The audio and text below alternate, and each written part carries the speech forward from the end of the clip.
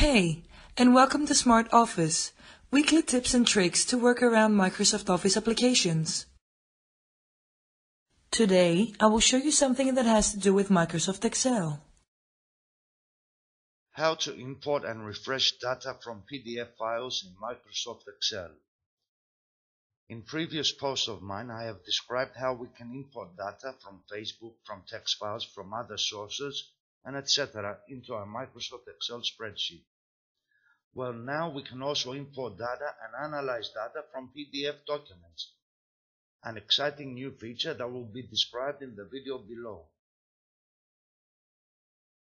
We must select the Data tab and from the left area of the ribbon named Get and Transform Data, we must select the command Get Data where we can easily discover, connect, and combine data from multiple sources, then shape and refine it to meet our needs.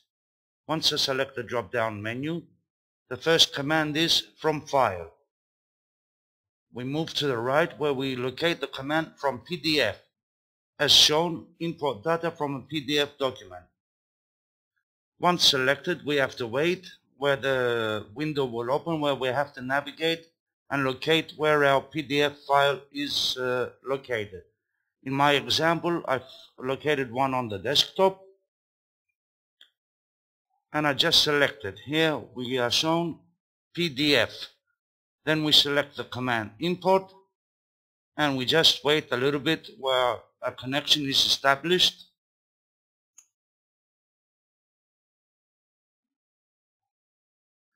connecting while we we establish a connection to the specific file that I selected.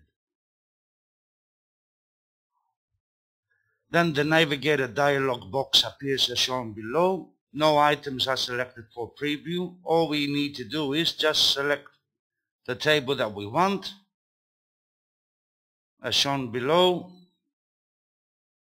or we can activate the checkbox select multiple items and then select all the items that we're interested in in order to insert our PDF file in our worksheet. Then we can use the button load. Load, it will load to this specific sheet that we have already opened.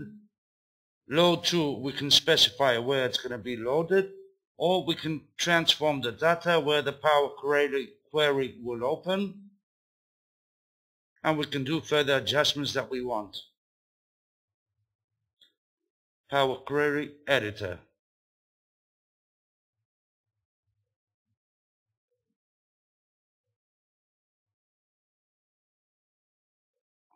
And that is it.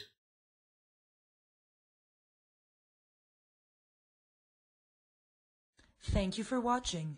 If you liked what you saw in this video, go ahead and subscribe to my YouTube channel. If you have any questions or suggestions, head down to the comment section and let me know.